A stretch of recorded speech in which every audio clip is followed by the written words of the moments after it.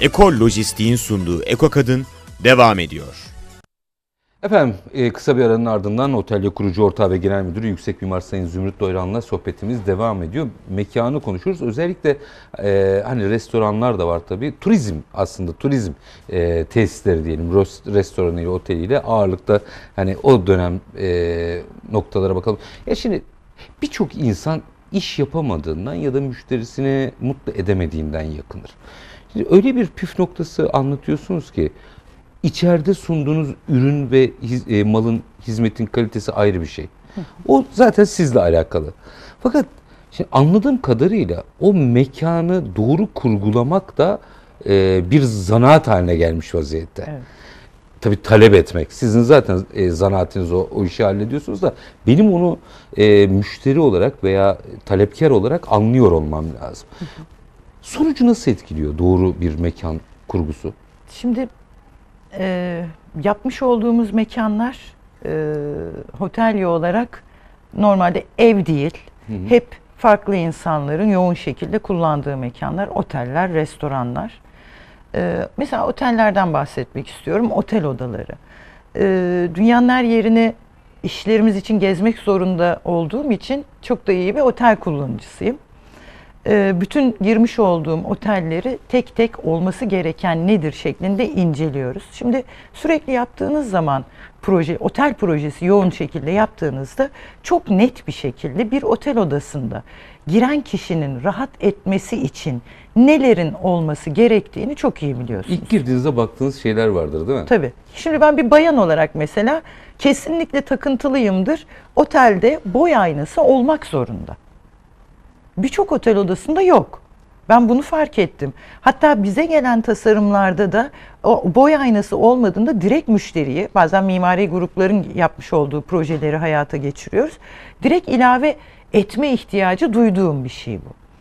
Bu bunun gibi birçok konu var. Ee, mesela bir otel odasında nedir? Otel ne için kullanılır? Bir amaç ne? Eğer tatil oteli ise oradaki kullanım amacı farklıdır. Oradaki oturma grubu farklı tarzda, farklı rahatlıkta, farklı ölçülerde olmalıdır. Ama bu bir iş oteli ise o orada bul, kullandığınız bir çalışma masası ve çalışma masasının yanındaki çalışma sandalyesi. Bunların nasıl olması gerektiğini artık hepimiz bu kadar projenin e, sonucunda ekip olarak çok iyi biliyoruz. Biz de en azından kullanıcı olarak vakıfız. Evet. Şimdi bir tatil otelinde e, çalışma masası gibi olan şeyi makyaj masası diye kullanırsınız ve onun önündeki e, sandalye makyaj sandalyesidir. Ofis sandalyesi gibi tekerlekli alçalıp yükselen olmamalı, dört ayak olmalı. E, ama bir iş otelinde makyaj masası gibi düşünülen masa aslında çalışma masasıdır. Onun yanındaki sandalye tamamen çalışma masası gibi mekanizmalı, alçalıp yükselen. Çünkü laptopunuzu açacaksınız, orada çalışacaksınız. Bir toplantıya gittiniz, gece otelde odanızda çalışıyor Çoğu olacaksınız. zaman oluyor bu. Ve bu nedir? Oraya gelen insan, siz oraya rahatsız bir sandalyeyi koyduğunuzda iş için gelen kişi bir sonrakinde sizin otelinizi kullanmayacaktır. Nüans bakın bu. Çok enteresan Çok bir şey. küçük bir şey. Ama bir müşteri kaçırabiliyorsunuz. Kaçırıyorsunuz direkt ya da onunla birlikte birçok müşteriyi kaçırıyorsunuz. Ya da restoran olarak düşünün. Restoranın amacı nedir? Bir mimar olarak ve üretici olarak bunu çok iyi biliyor olmanız gerekli. Bu müşteriniz diyebilir ki benim restoranıma gelen kişiler saatlerce rahat rahat otursun, uzun saatlerce vaktini harcasın. Ya da diğer müşteri diyebilir ki sirkülasyon çok olmalı. Gelsinler yemeklerini yesinler çok oyalanmadan gitsinler. Burada da kullanacağınız ürün tasarımı demiyorum. Tasarımı da geçiyorum. Aynı tasarımı ben farklı şekilde ölçülerinde çok küçük oynamalar yaparak, kalınlığını değiştirerek, e, yumuşaklığını değiştirerek aynı gibi gördüğünüz üründe bir kişiyi 3 saat oturtturabilirim.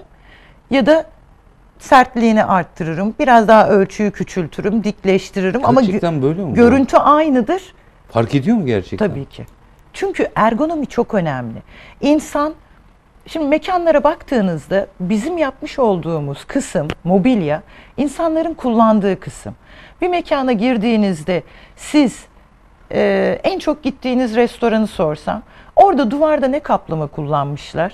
tavanı nasıl, aydınlatmaları nasıl desem hatırlamazsınız. Masayı hatırlarım. Ama masayı ve oturduğunuz sandalyeyi hatırlarsınız.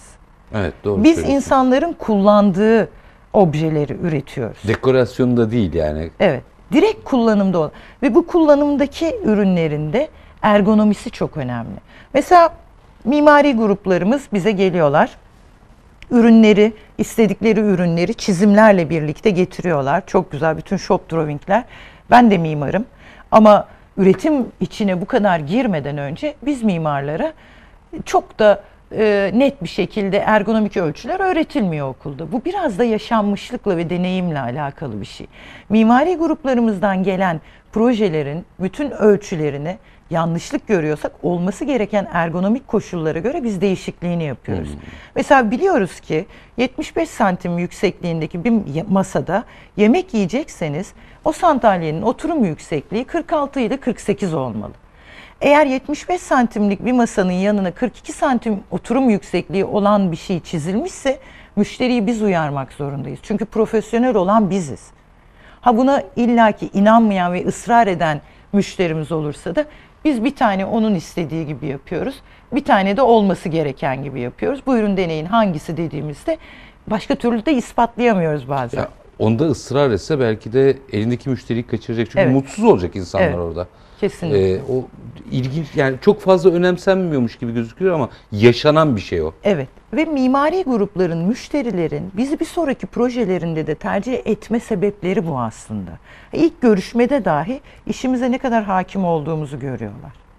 Bu çok çok önemli. Burada bir şey soracağım. Ee, madem öyle siz de biraz atıfta bulunuz açalım. Ee, iyi mimarlarımız var. Çok. Çok iyiler. Yani gerçekten rahat bırakırsak iyiler. Yani e, Mimar Sinan'ımız var bizim zaten marka değerimiz var ama biz çok fazla kalıplara sokuyoruz ya da endüstriden tamamen uzaklaştırıyoruz bunları. Şimdi bu dengeyi nasıl kuracağız? Arkadan da bir jenerasyon geliyor. Ee, biz zanaatkar bir toplumluk. Ee, bir şekilde yaratıcılığımız çok yüksek ki sizin bu verdiğiniz şeyler mesela benim aklımın ucundan bile geçmez. Yani aynı masayla bir insanı ufak oynamalarla bir saatte, üç saatte oturtturma ihtimalini hiç düşünmemiştim. Ee, müthiş bir e, bakış açısı bu. Peki arkadan gelenleri nasıl yetiştireceğiz? Yani hepsi tasarımcı oluyor. Bunu kim üretecek? Kim ameliyesinden bahsetmiyorum. Onu bir usta bulduk ve ürettirdik. İşin bu akıl noktasını, projesini kim üretecek? Var mı arkadan gelen durum nasıl? Şimdi e, özel okullarla beraber inanılmaz derecede yeni mimar mezun veriyoruz. Yeni iç mimarlar mezun veriyoruz. E, ve e, o kadar çok mimarımız ve iç mimarımız var ki bu çocuklar doğal olarak sektörün içinde zorlanıyorlar. İş bulmak için de zorlanıyorlar. Ya da e, mimarlık fakültesinden mezun oldum. Ben tasarım yapacağım. Uygulamalarının başında olacağım gibi doğru ideallerle çıkıyorlar. Fakat belli bir mimar ihtiyacı var. Her meslekte olduğu gibi belli bir iç mimar ihtiyacı var ama biz çok daha fazlasını veriyoruz. Mimarlık ve iç mimarlığın şöyle bir avantajı var. Ee, bizler çok farklı alt dallarda çalışabiliriz. Bazı mimarlar sadece tasarım yapabilir. Bazıları sadece uygulamaların başında olabilir. Bazıları hem tasarım hem uygulama yapabilir. Bazı mimarlarımız, iç mimarlarımız da, yeni mezun arkadaşlarımız da mobilya gibi mimariyi tamamlayan birçok tamamlayıcı malzememiz var. Mermerimiz, vitrifiyemiz, metalimiz bu sektörlerin içinde de çok rahatlıkla iş bulabilme olasılığına sahipler. Ama bilgi ne kadar veriliyor? Mimarlık fakültelerinde doğal olarak tasarımla ilgili ve uygulamayla ilgili. Uygulamayı da biraz daha hayatın içinde öğreniyoruz. Ama diğer alt sektörlerle ilgili çok fazla bilgi verilmiyor. Neyi öneriyorum yeni arkadaşlara? Zaten güzel bir eğitimi alıyorlar. Ee, ben de bir mimarım ama mobilya üretimine ilk e, çalışma hayatıma başladığımda bir ithal ofis mobilyası firmasında başladım ve kendi hayatımı mobilya üzerine yönlendirdim. Bu bir seçim. İhtisas diyorsunuz yani. Evet. Kendilerine ihtisas alanlarını belirlemeleri gerek. Bu tıp gibi bir şey aslında. Göz doktoru mu olmak istiyorsunuz, dahiliye uzmanı mı istiyorsunuz? O, ona göre ayrımları. Doktor doktor ama ne doktoru? Ama alt açılımı çok var. Mimarinin de mimari fakülteden mezun olan arkadaşların da böyle seçenekleri var. Bunları çok iyi değerlendirmek gerekli. Çocuklar bu bilinçte mi? Değiller. Üniversiteden mezun olan arkadaşların hepsi şimdi ben tasarım yapacağım ama iş bulamadım. Ama başka birçok alt alternatifleri var. Bunlar için onlara yol gösterilmesi Tasarım gerekiyor. aşamasına gelene kadar kaç yılınız gitti? Bir yüksek mimara soruyorum. acemilik dönemini çekerim. arkadaşların kabul etmesi gerekiyor. Her işin içinden tek en dibinden gelmek gerekiyor. Tasarım dediğiniz ben ilk çalışmaya başladığımda 20'li yaşlarımda Space Planner olarak başladım. Yani alan düzenleyicisi. Aslında mevcut bir alan var ve hazır bir mobilya sistemi var. Onu oraya e, uygulama. En basit kısmı. Bu tasarım değil bence. Modüler bir sistemle yerleşim yapıyorsun. Seçenekleri değerlendiriyorsunuz. Seçenekleri değerlendiriyorsun. Sonrasında gerçek tasarımı yapabilmek için öncelikle arkadaşların bilmesi gereken şey şantiyelerin içinde olmak zorundalar. Uygulamayı bilmek zorundalar. Kağıdın üzerine çizgi çizmek çok kolay ama çizmiş olduğumuz o çizgilerin gerçekten uygulanabilir olup olmadığını bilmemiz gerekiyor. Ya hayaliniz gerçek mi? Evet, yani hangi malzemeyi kullanıyorsunuz? Kullandığınız, kullanmak istediğiniz malzeme sizin oraya çizdiğinize uygun mu? Bunu bilmek gerek. Malzeme bilmeyen bir mimarın tasarım yapma olasılığı yok bence. Ha, o zaman demek ki sadece tasarım atölyelerinde değil, aynı zamanda imalat atölyelerinde de gezmeleri Kesinlikle. geziyor. gerekiyor. Kesinlikle. Ee, bu, bu önemli. Şu açıdan e, tabii ki çok güzel bir kuşağımız var. Hadi e, çok da onlara şey yapmak istemiyorum Yok, ama evet. bir gerçek de var ki yani hayatta sahada öğreniliyor. Teori bilginiz sağlamsa çok hızlı yol alıyorsunuz. Biz bazı üniversitelerle birlikte çalışıyoruz ve bu çalışma gerçekten çok keyifli. İç mimarlık öğrencileri fabrikamızı ziyaret ediyorlar. Kendi yapmış oldukları mobilya tasarımları var. Kendileri geliyor.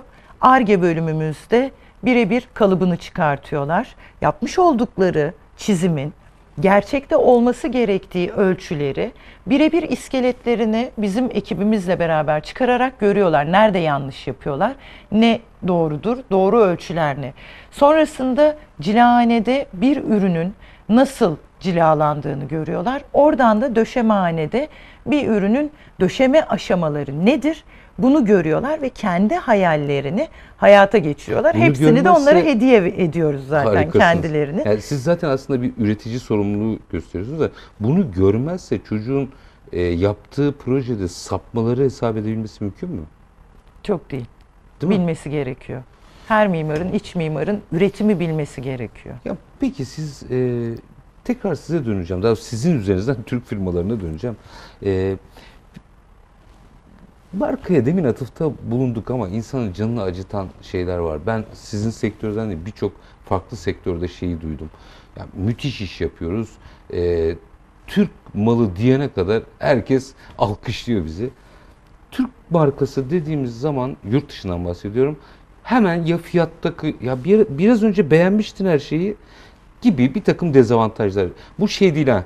Kuru bir bizimle uğraşıyorlar değil ha. Bu başka bir şeyden bahsediyor. kendi bacağımıza kurşun sıkmakla alakalı bir şey. Hadi biraz açalım ya. Bu Türk markası yaratmanın yolu ne? Şimdi e, maalesef bir, bir kere Avrupa'da bunu kabul etmiş durumda. Gerçekten Türk imalatına Avrupa'da güveniyor. Dünyanın her yeri aslında Türk malını kullanmaya başladı.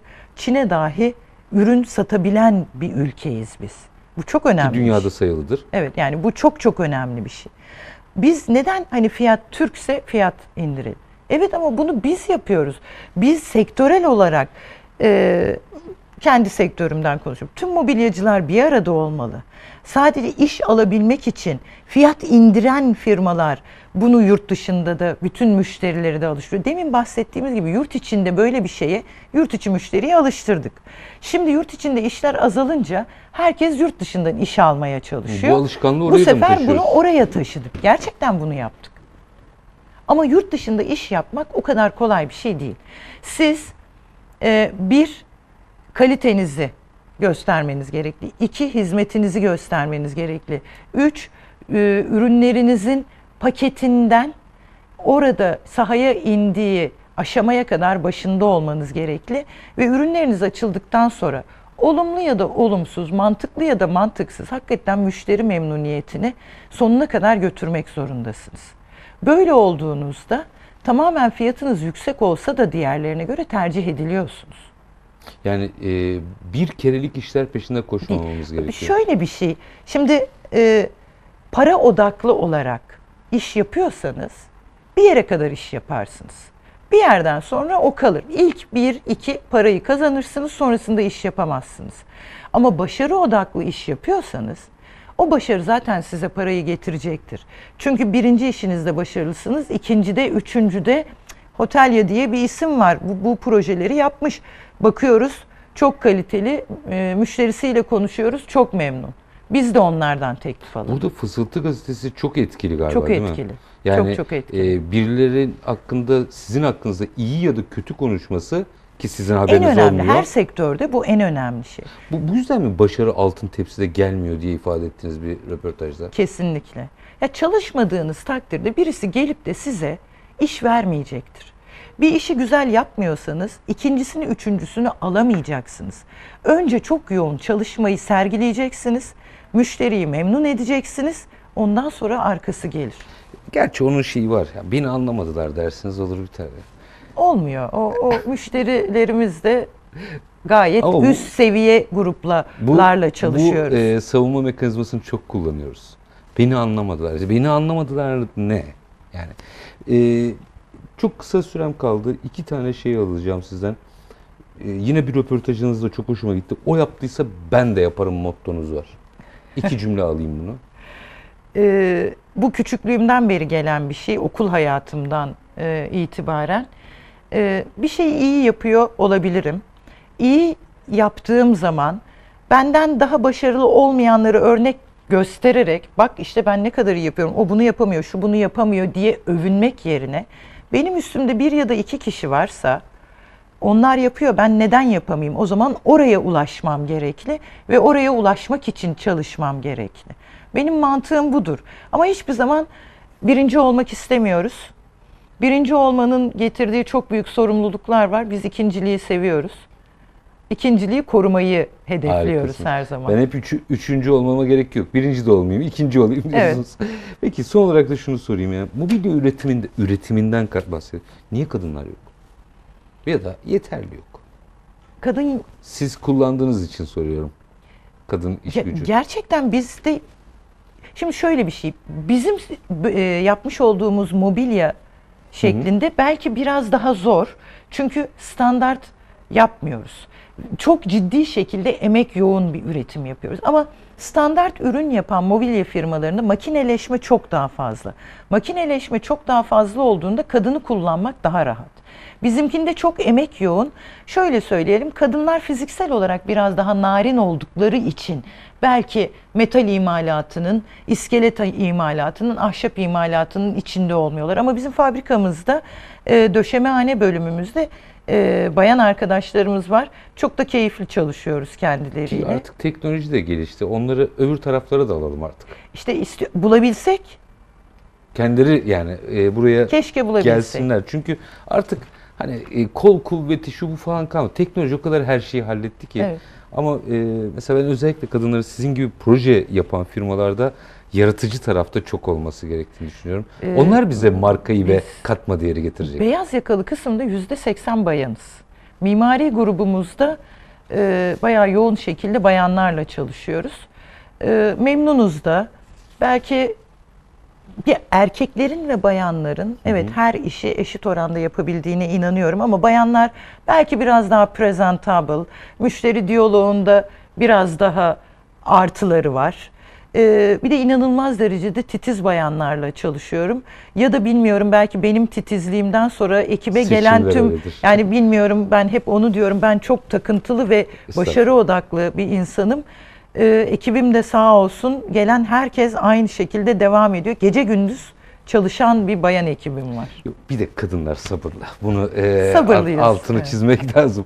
Otelle kurucu ortağı ve genel müdürü Yüksek Mimar Sayın Zümrüt Doyran. Çok teşekkür ediyorum. Ben teşekkür E, ederim. takip etmeye devam edeceğiz. E, çok güzel ihracat hamleleri var orada. Mobilya sektörünün genelde bir e, çıkış var. Bunu görüyorum. Evet. Ama böyle projelerle taçlandığı zaman insanın biraz daha hoşuna gidiyor. Biz takip etmeye devam edeceğiz. Çok teşekkür sağ ediyorum. olun. Sağ olun.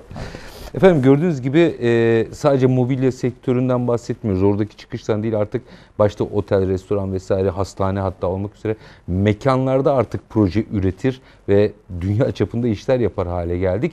E, artık biraz e, bu firmalara bu insanlara biraz sahip çıkmak gerekiyor galiba. Arkalarında olduğumuzu hissetmemiz gerekiyor. Onların da birbirini yurt dışında vurmaması gerekiyor. Günün sonunda hep beraber batacağız ya da çıkacağız. Neden? Unutmayın tek kanatla uçamazsınız. Yeni bir programda görüşene dek şimdilik hoşçakalın.